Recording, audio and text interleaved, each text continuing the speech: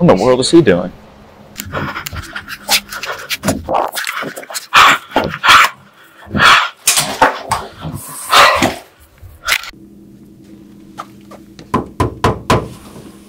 It's Mission Statement Friday. Do you know it? In case this happens to you, here's our mission statement. The Woodlands Christian Academy is an independent, Christ centered college preparatory school that integrates learning with biblical faith and spiritual growth and challenges students to reach their highest potential intellectually, creatively, physically, and socially, all for the glory of Jesus Christ.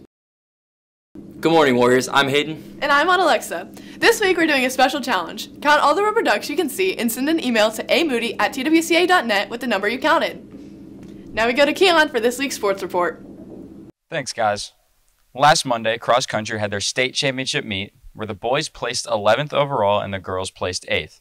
Elena Formica also earned 7th place out of all the runners.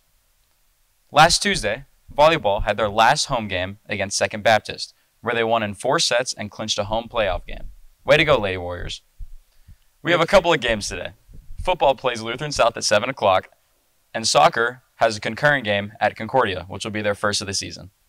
Girls basketball also has their first game of the season, playing Second Baptist before the football game. That's it for this week. Back to you, Hayden and on Alexa.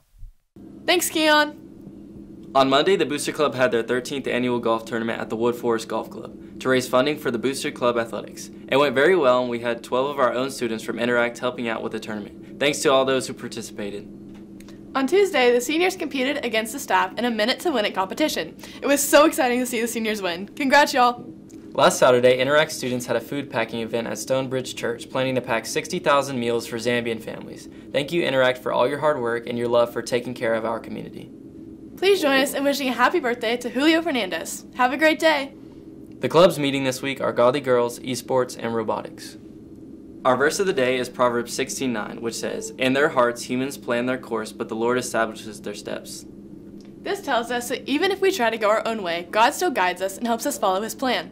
If you would like to view some of our longer content, go check out TWCA Warriors on YouTube and check out our Instagram page at TWCA Broadcast. Well, that's all for this week, Warriors. Make it a great day. The choice is yours.